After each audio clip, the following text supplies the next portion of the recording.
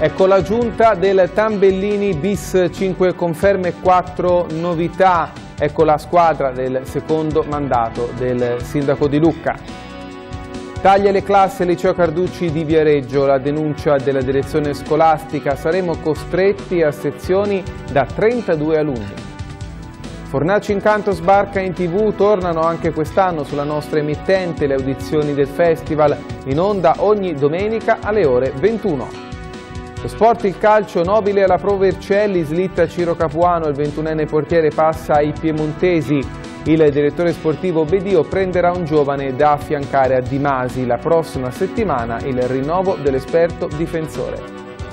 Ciclismo anticipazioni sul Giro di Toscana si correrà dall'8 al 10 settembre la ventiduesima edizione della corsa voluta da patron Brunello Fanini.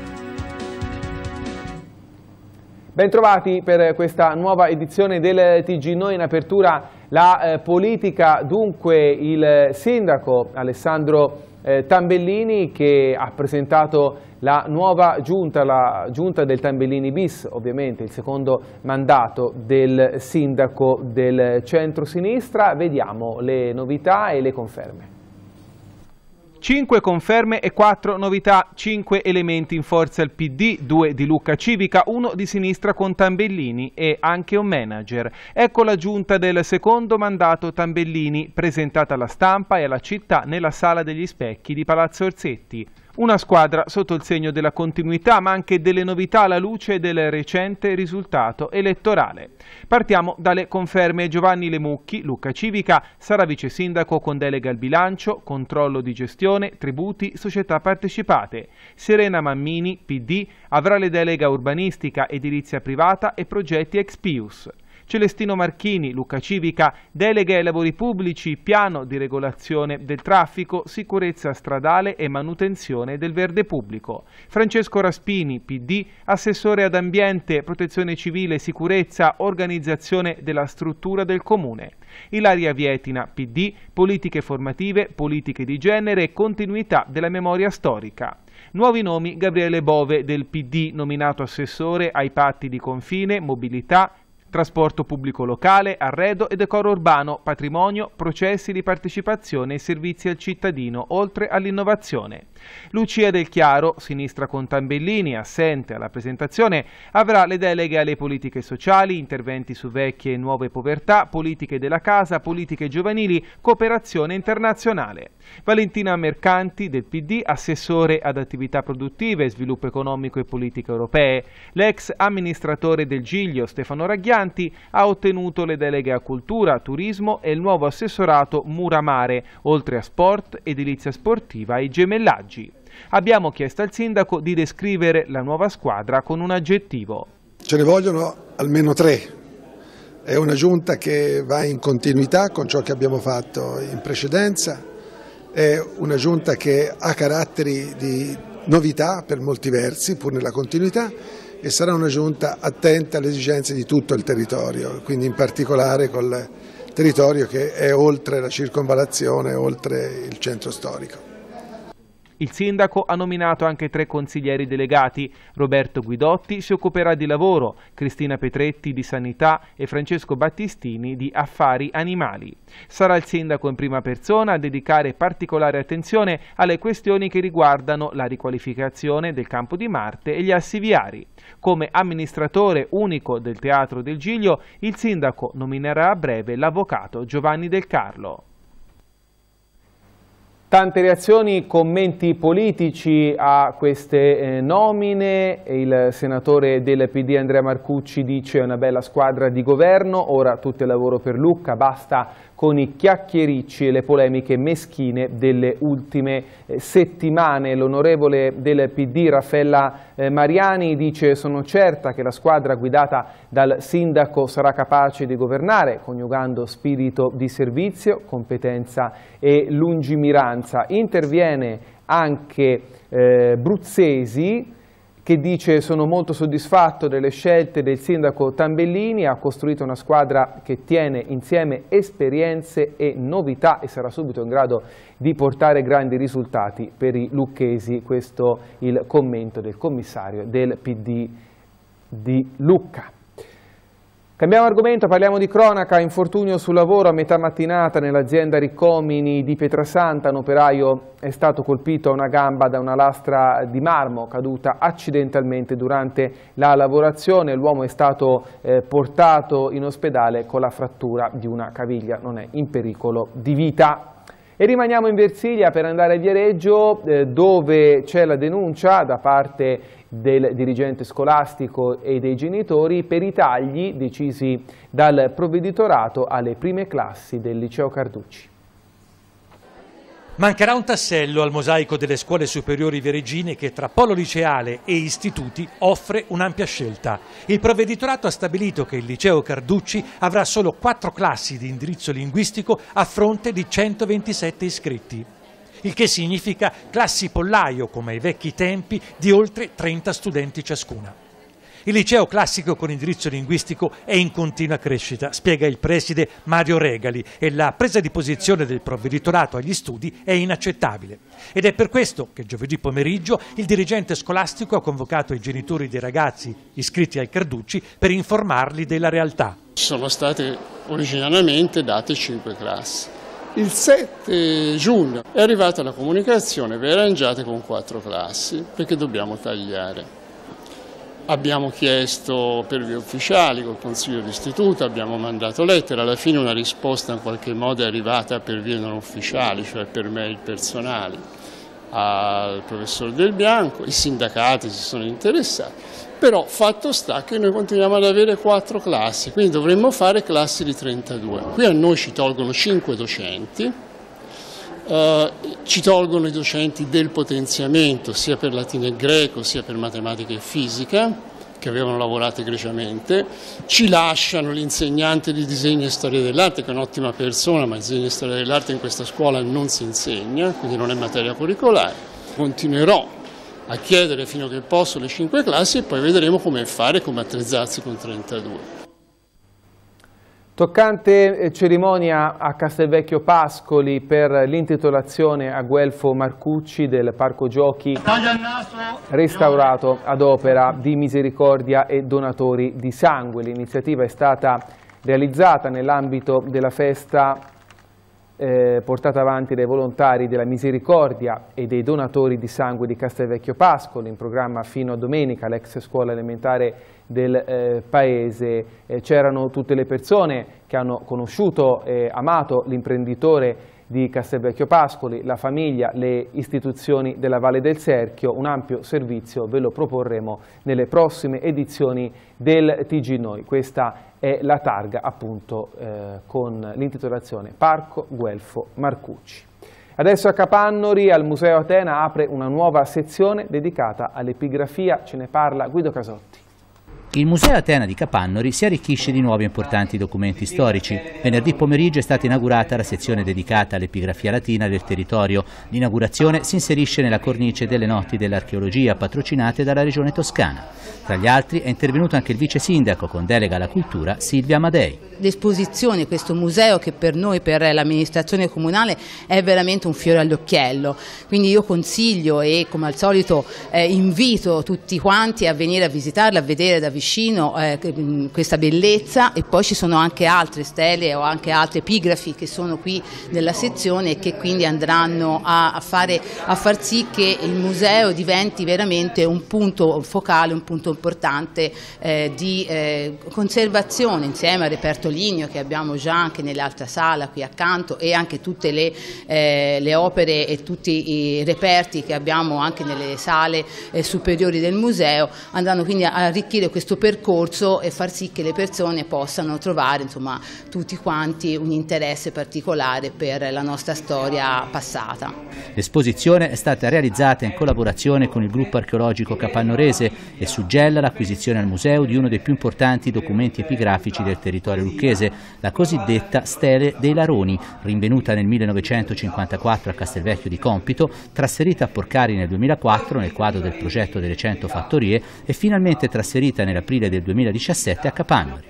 Si tratta complessivamente di cinque documenti epigrafici, tutti riferibili all'ambito funerario, i cui testi incisi nella pietra parlano di altrettante storie di persone e di famiglie realmente esistite, che ci restituiscono uno spaccato della società romana della Piana di Lucca del I secolo d.C.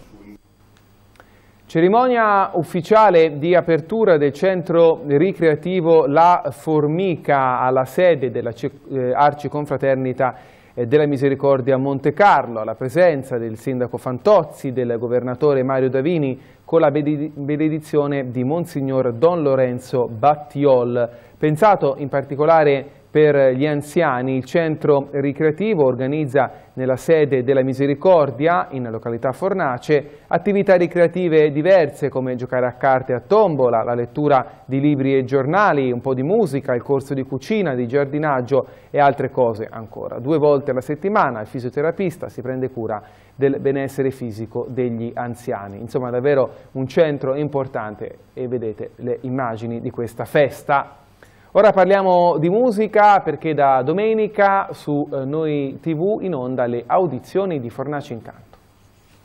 Quattro serate sotto il segno della musica, torna anche quest'anno sulla nostra emittente Fornaci Incanto, il festival giunto alla nona edizione in programma dal 27 al 29 luglio a Fornaci di Barga.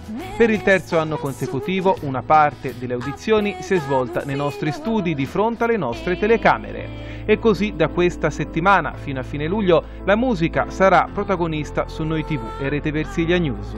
Valutati dalla qualificatissima giuria composta dal direttore artistico Massimo Salotti, la direttrice di produzione Lucia Morelli e il maestro Mauro Fabbri, gli aspiranti finalisti si metteranno in gioco dando il meglio di loro per conquistare l'accesso in semifinale. Quest'anno il pubblico da casa potrà dare il proprio contributo votando il proprio cantante o cantautore sul sito fornacincanto.com.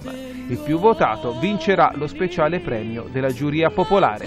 Le audizioni di Fornaci Incanto andranno in onda su Noi TV ogni domenica sera alle ore 21, su Rete Versilia News il lunedì sempre alle ore 21.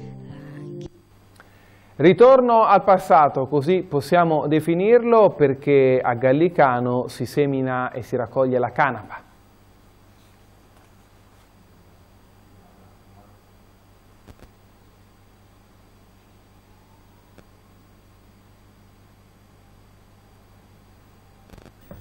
Dopo decenni di totale abbandono, chi lo avrebbe mai detto che si potesse osservare ancora un campo seminato a canapa?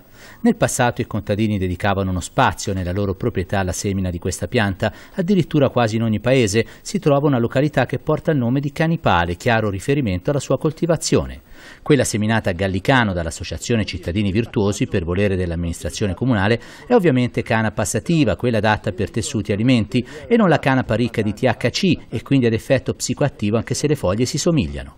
La coltivazione si trova a due passi dall'area che l'amministrazione ha dedicato agli orti sociali, ma cerchiamo di capire lo scopo dell'iniziativa dalle parole del sindaco Saisi. Questa iniziativa nasce lo scorso anno quando abbiamo fatto un convegno a Gallicano proprio sulla canapa per capire i mille usi eh, della canapa stessa. Da lì è nata la curiosità di riportare a Gallicano una coltivazione che a Gallicano c'è sempre stata, quella della canapa, un tempo veniva utilizzata per fini tessili, oggi gli usi sono molteplici e quindi ci stiamo studiando sopra per capire quelle che sono le prospettive. Anche se può sembrare strano, la canapa in passato ha avuto un ruolo importante, oltre ai tessuti e l'utilizzo in cucina e cosmesi, pensate che la Costituzione americana è stata scritta proprio su un foglio di canapa.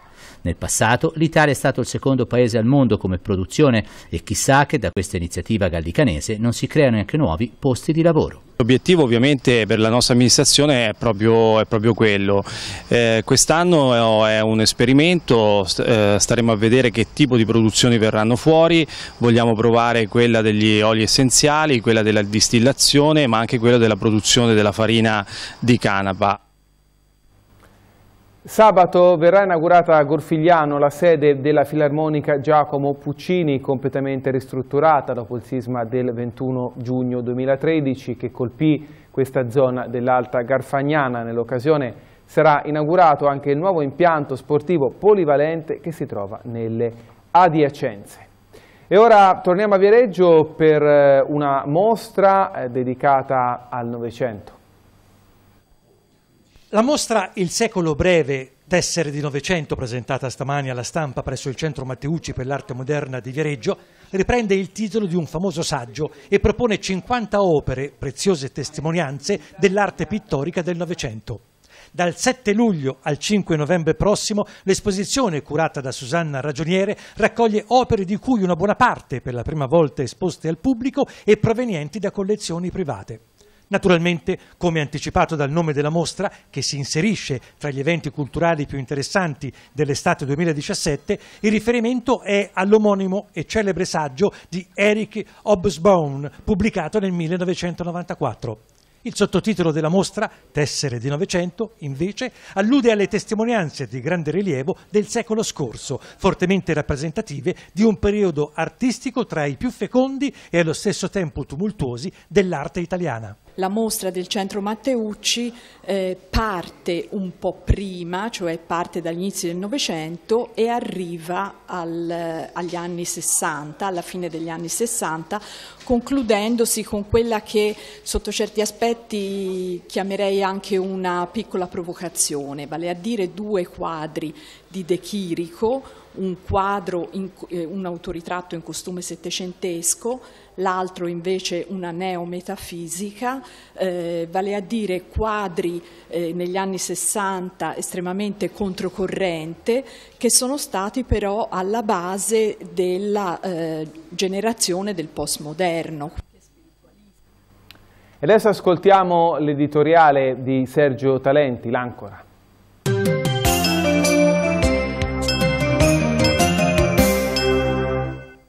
Il parco Melvin Jones, donato alcuni anni fa dal Rotary Club al comune di Viareggio, diventa puntualmente una discarica a cielo aperto dopo ogni rientro dei turisti di fine settimana e anche cloaca qualche volta per qualche nottambolo che ha perso le chiavi di casa. È situato nel cuore del quartiere Marco Polo che poi è eh, porta d'ingresso della città di Viareggio ed era dedicato originariamente ai nonni e ai bambini Situazioni di questo tipo si registrano comunque anche in altre zone della città. Non è una bella vista. Recentemente sono stati conteggiati oltre 50 sacchetti di immondizia, rotti, sparsi un po' qua e là, trafugati da gabbiani, topi e qualche cane randagio. La Polizia Municipale di Viareggio ha voluto monitorare la situazione trovandola seria e d'estate con il caldo che fa le numerose abitazioni devono chiudere le finestre evidentemente per il brutto odore. La SE Ambiente interviene quando si chiama. Si pone dunque un'emergenza istituzionale che pone in primo piano la salute pubblica e il decoro urbano, ma anche una domanda sull'idea stessa di turismo che in un mercato altamente competitivo deve necessariamente integrarsi con l'ambiente. Questo ambiente a Viareggio è la unica grande, splendida città Liberty d'Europa e non si può offrire in queste condizioni.